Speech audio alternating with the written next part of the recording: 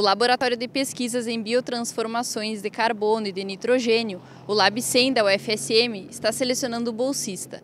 Para concorrer à vaga, é necessário que o aluno esteja cursando ou seja formado no curso de agronomia. O candidato selecionado receberá uma bolsa mensal no valor de 550 reais durante 27 meses. Os interessados devem enviar um e-mail com o link do currículo para um dos e-mails que aparecem na tela até o dia 22 de agosto. Ellen Barbiero, para a TV Campos.